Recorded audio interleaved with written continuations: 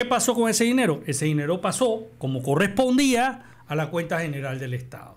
Y ahí se usó para cualquier vaina. Pero, entonces Gil es defensor del- de, de Nito. No, no, no no. sabían lo que estaba pasando aquí y todos sabían cuál iba a ser el- finalmente el destino. Lo que ustedes acaban de decir es completamente cierto. Los dineros se dieron antes y debieron haberse utilizado para lo que se previó antes. Pero como legalmente esta gente sabía, el PRD y Nito Cortizo y el Gaby, sabían que no tenían ningún problema después en gastarlo en lo que lo gastaron. Es que se lo Ahí gastaron está. antes, Yo-. ¿tú sabes lo que va a pasar el con la problema es que se lo gastaron antes y cuando se recibió el dinero no quedaba otra que meterlo en la cuenta del Estado para tapar el hoyo. Bueno, metieron cuando Y para, se abrió y para el- calmar, calmar se a abrió la, el- a la Espera, población. Con esa voz que ustedes escuchan, la de Néstor González, abogado, exministro de Estado. ¿Cómo está, Néstor? Buenos días, eh, los oyentes. Álvaro Alfaro, Buenos días. empresario. Pasó. A todos los radio escuchan. ¿No eres empresario, Álvaro? Voy a ser empresario. bueno, pero deja que yo te lo diga y tú, Está bien, está bien, tú di gracias, gracias y, y dale para adelante. No pasa nada. Sí, a mí también me pasó una vez. Hasta que ya me aprendí oyentes. Claro, claro. La entrevista con Berroa fue grabada. Eh, no, estaba en vivo. Estaba en vivo. Ese que ustedes escuchan también ahí es. Habrá Carraquí. No, estaba bien, estaba Qué bueno, interesante. Estamos al aire, tú sabes. ¿no? No, la sociedad tóxica. La sociedad tóxica me, me quedó. Sí, vamos a hablar, vamos a hablar de eso, vamos a hablar de eso. Y Hitler Cigarrita, que no debería estar acá, pero no vino ayer y se dio cuenta de que iba a haber una baja, o por lo menos dos, pero na- nuestro amigo Abraham Carraquilla está aquí. Eh, así que, que logró salir del atolladero en que estaba. Y bueno, bienvenido. Oye, tengo la mesa llena, bien. Eso es bueno. Ustedes se han dado cuenta que esta no es una mesa así de un poco de borrachos, amigos, que uno se encuentra por ahí, sino que son pura gente pesada. Porque son las 7 de la mañana. Una, una mesa de altura. Tú, tú- tú sabes, y saludos a mi amigo Walo Mastelari. Sé que mi amigo, un amigo Walo, todas la- las noches anteriores me manda un chat y que estos son los temas que tienen que tocar. ¿Cómo? Yo le digo, entonces, ¿qué tú eres? Tú eres el, El productor, de el programación. El productor. Saludos a Todo- nuestro productor. pero todos son escándalos. Ese le batiste el bochinche, le Bueno, digo. pásamelo, pásamelo. De repente hay algunos temas que bien, nunca qué sabe. bien, ¿ah? Pero Saludos, le eso, eso agradezco es bueno mucho, porque claro. significa que tiene el interés de aportar Claro, claro, a los programas. Saludos, saludos también. A Walo, la verdad que sí. Saludos, Positivo ese aporte. Marco- No es, no el único. Matelari también Pa' que no- en la familia Matelari ahí. Que no es el único. Tengo como cuatro en fila, Sí, así que. Marco. Oye, ¿por qué no hablan de esto y por qué no hablan de los otros? Álvaro era uno, para que sepan. lo- ya de- directamente lo trajimos. Yo, ¿sabes qué, Álvaro? Ven tú, ven. y ya está aquí. Aquí está. Oye, eh, no sé, bueno, como los vi hablando muy animados allá afuera, no me dejaban hacer programa con, con Gerardo. Quería preguntarle si tienen algún tema mm, para no hablar de los míos, ¿no? No me daña el Mm, Bueno, micrófono. Yo lo, que, yo lo que estaba planteando es lo mismo que hablábamos antes de que empezaras con Gerardo el, el programa. Es que a mí me tiene muy obcecado el hecho de que algunos abogados hayan presentado una denuncia penal contra el presidente Eso hay que Cortizo. explicarlo, eh, eso hay que explicarlo. A ver, Sí. déjame explicarlo y después ustedes lo comparten.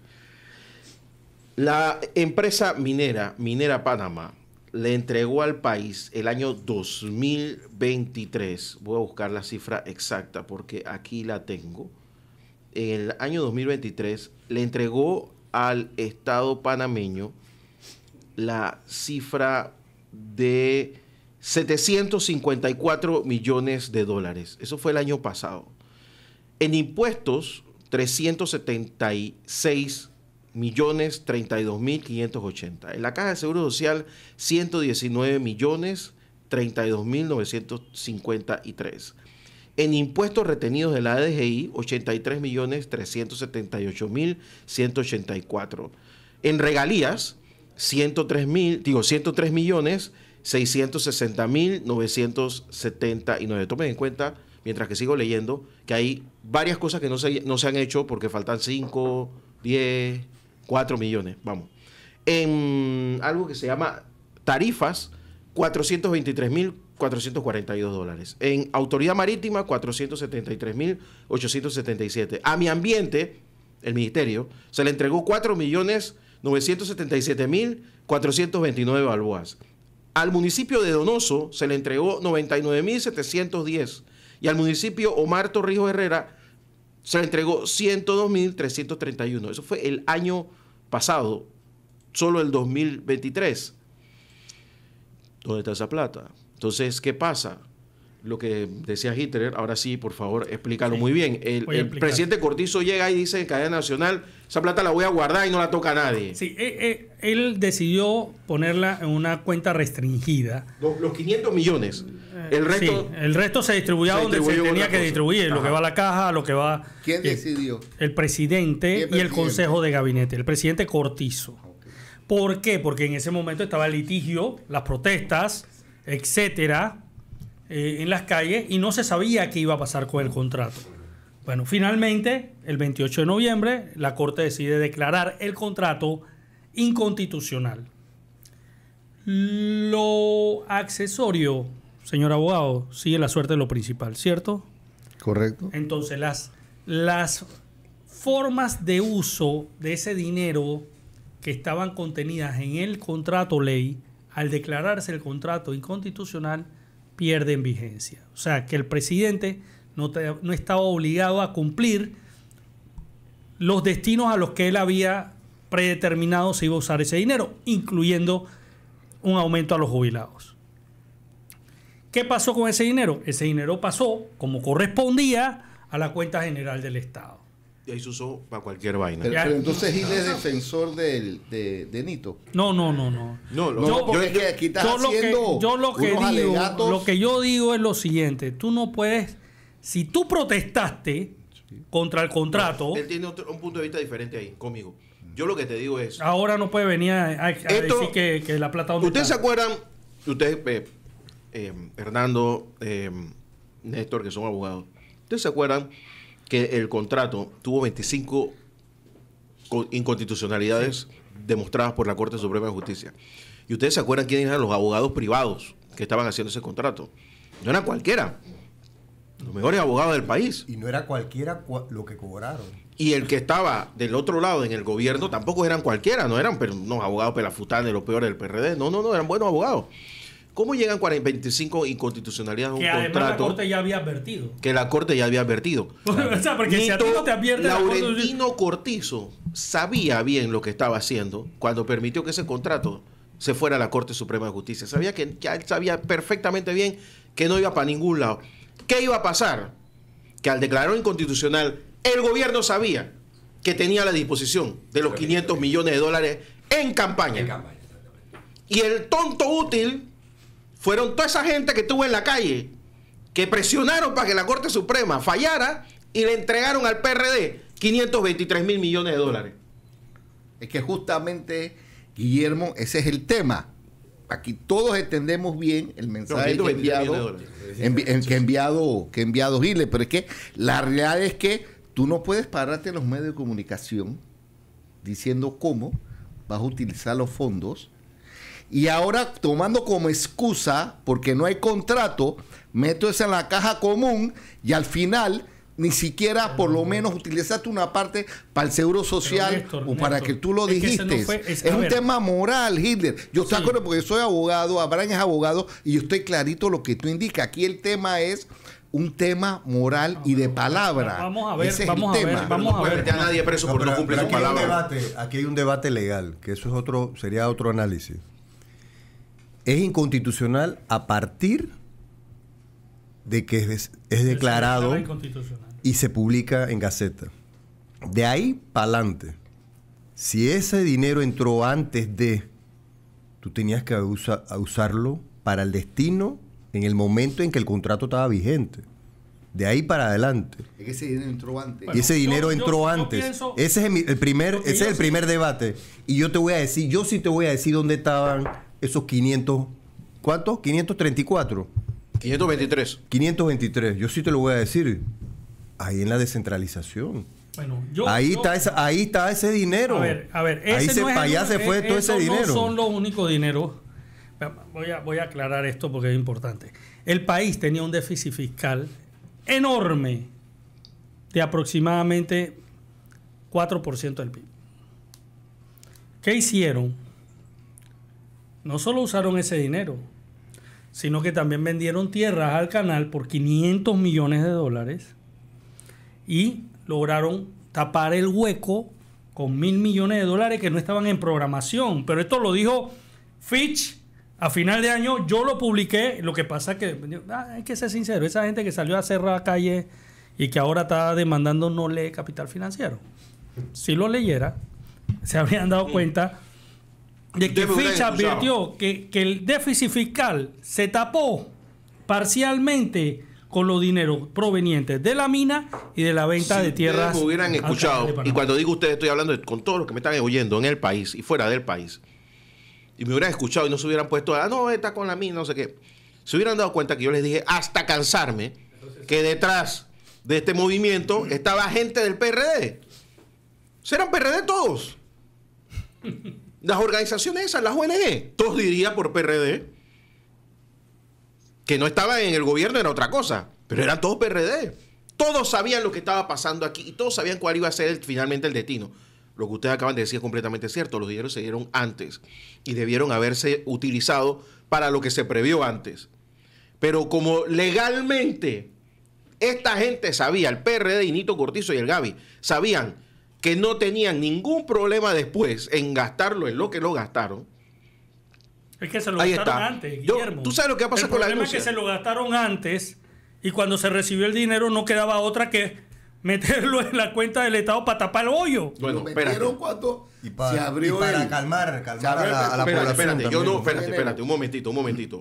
Ayer en, en sede parlamentaria, el gerente de, de la Banco Nacional dijo que esa plata estaba cuando él recibió la comunicación del MEF de 26 de pasarla a la otra cuenta, la cuenta 0001, no me acuerdo cómo que se La llama. cuenta del tesoro, la cuenta A la cuenta del tesoro. O sea que no es que se la gastaron, Hitler, la pudieron haber comprometido. Pero la plata estaba, porque si no, el, el me está diciendo que el director del Banco Nacional mintió. No, No, no. lo creo. Es un tipo muy honorable. Yo No, lo conozco me- muy bien. No me refiero a que ese dinero exacto fue el que se gastó, sino que se habían gastado más dinero. Ah, no, claro. Ya sí. la tarjeta de crédito. Ya la No, tarjeta sobre- tipo estaba sobregiradísimo. sobregirado. Ahora, la pregunta. Entonces, te- no te quedaba otra que, hey, ¿cómo? Y encontraron vendiéndole tierras al, al canal por 500 millones y estos 523 millones y digo, aquí está la plata ahora, que me gasté la ex- plata- extra. Hitler, Venga, Hitler y. Álvaro, la plata no va a volver a aparecer. Ahora yo le Ah, pregunto no. a los abogados.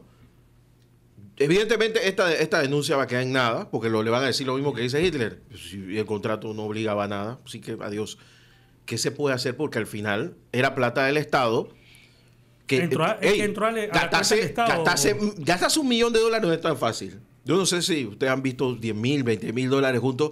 No es tan sencillo. Tienes que hacer un montón de cosas y al banco mover. A menos que seas muy, muy millonario y tengas un grupo de bufetes de abogados que te mueven la plata para un lado. Mira el juicio de Martinelli, que cómo se paraba uno y que no, mi papá me pasaba un millón, yo le pasaba otro millón para acá y la cuenta acá y yo le dije al banco, eran 3, 4 millones de dólares para reunir 40. Imagínate, 523. Entonces, para gastárselo en cuatro meses, porque en cuatro meses fue que se lo es- gastaron. Es, que fíjate, Guillermo, que el ¿Cómo, presidente. cómo se hace? Fíjate que el presidente- Penalmente, ¿qué, hay- qué se puede hacer al respecto? No, es que fíjate, el presidente, el presidente Mulino, él está actuando y adelantándose a, los, a las consecuencias que él dice. Este tema de la plata, por ahí algún periodista en algún momento me va a preguntar. Y yo tengo que adelantarme y decir qué fue lo que sucedió con esos fondos. Él lo que está haciendo es No, está jugando un rol salud. político diciendo, a mí no me va a reventar ese problema y usted por qué no lo dijo. Pero Néstor, quiero que sepa que eso fue un jueves en, en conferencia, ¿cómo le llaman? Fue el jueves pasado, El jueves conferencia del pasado. presidente. En conferencia del presidente fue una pregunta de un periodista. Sí, sí. Y él, en principio, no, con- no, su- no supo contestar. Y creo que luego él aclararon, luego trajeron un- aclararon en. un papelito diciendo que, se- o sea, en principio él dijo, bueno, esa plata está ahí, vamos a tener que usarla. Así es. Porque él no estaba claro en que ya se había usado. pasa es que y luego le pasaron el papelito y dijeron, no se usó. eh". En la conferencia estaba la viceministra de, de, Mira, lo que MEF. sucedió también fue que el presupuesto que se aprobó paralelamente casi al, al contrato ya había contemplado ese dinero. Entonces ya esa plata, como tú dices, estaba gastada antes de tiempo, Como, como dice Hitler. Entonces ahí, por el otro lado, yo sí veo un tema interesante eh, de análisis es que yo si ese dinero yo lo recibo antes que fuera declarado inconstitucional, Ahí, ahí hay, lo que un- ahí hay una pasarle Un responsabilidad. dinero al Seguro Social, que era el compromiso para el tema de los jubilados. y a los, munici- Quizás- y había, y a los no, municipios. a los municipios sí se le pasó. Sí se le pasó. Sí, porque los bancazos son los 200 que faltan. Eh, Esa plata entró antes A, a la porque yo Social recuerdo... se le pagó la cuota, pero no se le pasó lo que se había prometido para el aumento de los jubilados. Es es que lo que Lo que pasa, es que también el aumento de los jubilados hubiera requerido... A mucho ver, más que eso, sí, eso no era mucho más que eso. Pero por lo menos pudo habérseles dado un bono a los jubilados de ese dinero. Pero no se hizo. Ahora, si tú buscas otro. Bueno, eso, eso entendiendo que el dinero entró cuando el contrato estaba vigente. Álvaro. No, no, perfecto. O sea, a mí una cosa que me llamó la atención ayer cuando pasó esto en la comisión fue que eh, el mismo gerente del banco dijo que esa, fue, esa nota del MEF vino el 26 de enero. Entonces, Entonces, ya no tú era... la- no, no importa. O sea, lo que yo estoy diciendo es, estamos a 26 de agosto y nosotros nos vinimos a enterar ayer de esa. Yo por lo No, menos, no, y yo, yo que lo escucho, yo, Yo no, porque yo sí. en la Sí, población general, no te- yo no tenía idea de que, de tú le puedes mandar una nota, el MEF agarra, manda una nota del gerente del Banco Nacional, el Banco Nacional manda 500 millones de dólares después que el presidente había dicho públicamente a todo el mundo, hey, eso va para aquí. Entonces la, la población está pensando Ahora, y tú dices, una ¿cómo es pregunta- posible que esa vaina suceda? Néstor, Néstor. Una, una cosa nada más para, para, para aclarar y, y- y muy bien to- abordó Abraham. O sea, un poco para los oyentes, tenemos que tener presente que los fallos de inconstitucionalidad son a futuro, no son retroactivos. Entonces, hay un tema que muy bien señala Abraham, es cuándo fue que la mina hizo el pago. El pago lo hizo antes de que se diera el fallo de inconstitucionalidad. Y hay otro debate también, porque en la mina actualmente hay un material eh, por, por, Que por ese sí va a explotar. crear un problema y, ecológico y si el debate está en que se, se- incluso el Eso Ministerio de Comercio e Industria la- consultó. la- exacto. Estaba el debate que si, si eso había entraba antes de la vigencia o posterior Mientras que se hablaba de que la minera iba a acabar con el país, que iba a un el, el agua iba a ser contaminada, el país se iba a contaminar, los cielos se iban a contaminar, todo se iba a contaminar, los otros se estaban gastando 523 millones de dólares en medio de la campaña política. Es que piénsenlo. Y además, el Contralor sabe el desglose de esos 23 millones de dólares. Porque él es el que firma estos 523. 523 millones de dólares, porque él es el que refrenda al final, ¿no? ¿O me equivoco? A eso me refiero, eran una cúpula de 3, 4 que estaban jugando Yo con un montón de que no dinero. solo O sea, fueron los- Tiene que citarlo. Yo insisto que no solo fueron los 500 millones de 523 millones de Minera Panamá, sino los 500 millones que pagó el canal también por las tierras, no 500, tierras que compró. 700 y pico, porque lo que fue a los municipios Bueno, también se usó. entonces, para la paralización de, eh, descentralización paralela también se usó, los municipios también lo usaron en campaña. Pero Álvaro, entonces lo que hay que hacer aquí es la Asamblea tiene que citar Contralor, eh, eh, el administrador del canal y que expliquen eso de los 500 de un lado y los 523 del otro. Porque ya no se le puede, no puedes llamar a, Anito Cortés. a Anito Cortés. yo te aseguro que el jueves este tema vuelve a ser vuelve a ser noticia. No, yo, yo, yo, yo voy a querer preguntar. ¿Estás preparado ya? Yo, tengo mi que no sé pregunta, si es la- lo que no sé si me dejarán. pero- Lo, lo que no sé si esa conferencia de prensa es aquí o en te- Guillermo, que tú que manejas el tema de comunicación, eh, antes eran los periodistas hacían dos, tres preguntas en uno. Ahora ya hay énfasis de que hagan una, han solo una. por, eh, eh, insistentemente que solo cada uno haga una. Una, sí. Lo que pasa es que, a ver, te explico, porque ahí también hay un tema, porque parte del tiempo de la conferencia se utiliza para contestar eh, mensajes eh, que manda la población, preguntas o, preocupaciones por redes sociales. Entonces, eso reduce el tiempo que tenemos los periodistas para hacer preguntas. Eh, y luego, sí es verdad que hay algunos colegas que aprovechan el turno que, les, que se les ofrece Preguntas combo, ¿cómo que le llaman para eso? hacer eso. eso Son es preguntas do- combo, ¿cómo tres que- por- dos por uno y tres por uno. tres por uno, sí. Entonces tú, eh, y, y fuera de eso, digo, siempre hay el periodista que hace una introducción a su pregunta larga y eso Acorta. consume tiempo, acorta el tiempo de respuesta del presidente.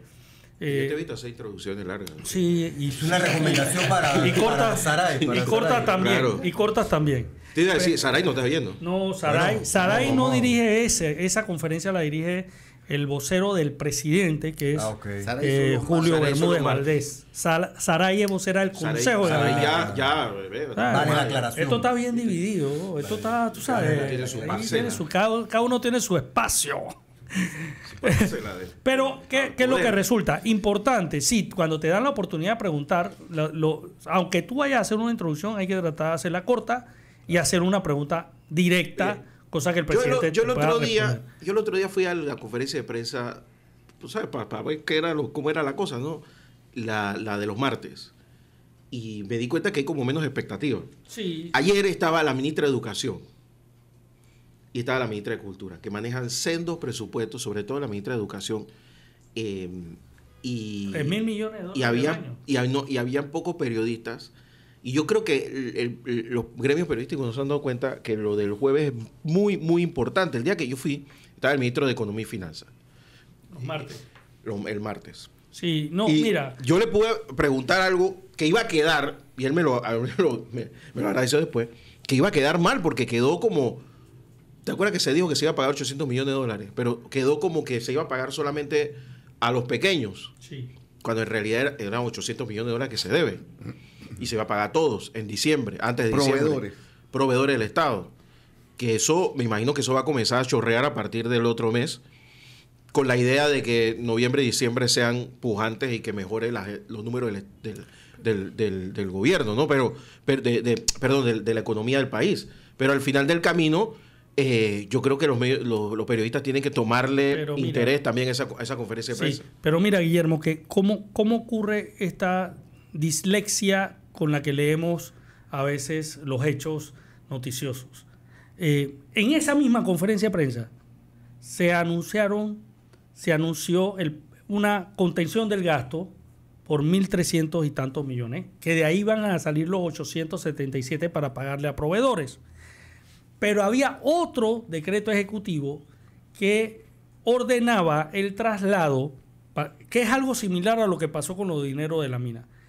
¿Qué pasa? Habían unos dineros que durante la anterior administración se habían puesto en un fideicomiso para que la banca, si lo necesitaba producto de la pandemia, pudiera recibir algunos fondos prestados, no es regalado, como dice la gente, pues la gente malinterpreta esto, eran prestados para cualquier situación crítica que enfrentara. Allí había como unos 500 millones de dólares, 400 y tantos millones de dólares más. No tengo la cifra exacta. Pero en ese consejo de gabinete, a la conferencia a la que fue Guillermo, todo el mundo le prestó atención a la contención del gasto y a los 877 millones.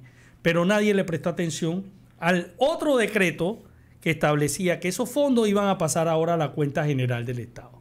Es lo mismo que hizo eh, eh, eh, Nito Cortizo en su momento. La diferencia cuál es? Claro, en ese momento estaba, había perdido vigencia el contrato, había que di- dilucidar si esos dineros que entraron cuando el contrato estaba vigente se debían usar para alguno de los fines que se había establecido o no. Oye, Esa, esa no era una discusión. En este caso, en este caso era dinero que se había puesto a disposición de la banca que nadie usó, ningún banco lo pidió y entonces el, el gobierno tenía una plata allí que no que no estaba siendo productiva y que no tenía Ya no ningún fin, ya no No, cumplía no, ningún no. propósito, ya la pandemia pasó. Finalmente este gobierno fue el que cerró No, y levantó los decretos de, de eh, levantó el estado de Increíble, emergencia. Por tanto, le- esta- a, Eso mí- es a este gobierno le Eso- tocaba eso sí es increíble. a este gobierno le tocaba pasar Ah, esos debe dineros a la cuenta general eso, del oye. Estado. Eh, Mira cómo quedó Atlapa. Eh, eh, Atlapa eh, estuvo lleno de ratones hasta hace poco. Yo no sé si ya lo, ya lo lograron eh, controlar. Fue la toma de posesión ahí. Que todo, pero está- se ha vuelto leña. todo, no sé si ustedes se dieron cuenta de la toma de posesión que habían espacios, espacios donde no se había sentado gente. Yo me senté ahí. No se puede saber por qué no se puede sentar la gente, porque lo- la, la banca está de lado. Porque ahí celebraban, ahí eh, eso, eh, Atlapa era un centro tomado por las hordas de esta gente.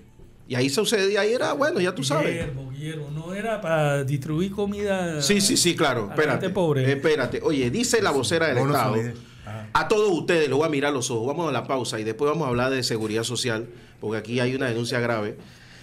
Dice que ella no sabe quién es Sarais. Ella es Sareis. Sareis. Así que todos digan Sareis. Una plana, por favor. Sareis. Sareis. Sareis. No vuelvan a decir Sarais. ¿ah? Yo le digo Sareis. Pero ustedes no digan Sareis. Una plana. eh, Él le una dice. Sarais. Yo le digo Sarais Es que creo y se que queda Sarais. Pero ustedes eso. díganle Sareis. Tú generaste eso, por eso todo el mundo aquí No, repitió. no, no, es, es como Mu- Mu- Muriel, que yo le digo Muriel, es Muriel. Muriel. Vamos a la pausa y regresamos esta es la mañana en Compo Radio.